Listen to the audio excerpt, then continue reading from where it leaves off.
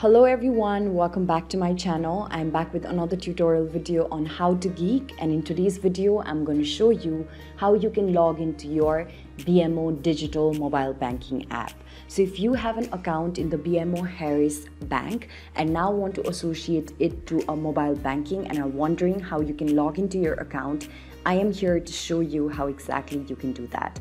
So having a BMO digital banking app will help you to transfer money or to check your account balances, to get in touch with your credit cards, to make different forms of payments and also different other services. So it's a really wonderful initiation that you can take in order to have a grab over your finances.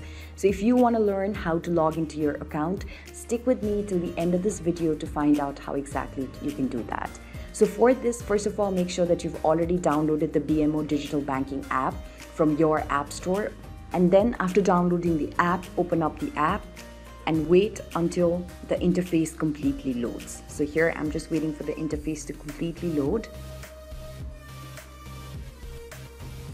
So here I'm asked that BMO Banking would like to send you notifications. So I'm just going to tap on the allow button.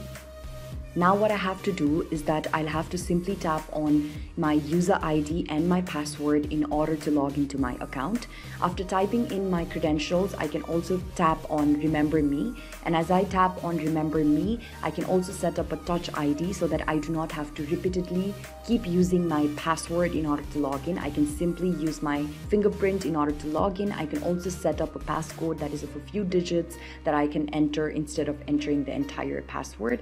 After doing that, I can tap on the sign in button, and that is how I will be able to discover the benefits of banking online by simply logging into my account. So, this is basically how you can log into your BMO Harris digital banking account. I hope that this video has been useful to you. If you found this helpful, don't forget to give this video a thumbs up. Also, do share and subscribe to How to Geek, and don't forget to hit the bell notification so that you are reminded each time that we upload a new tutorial video.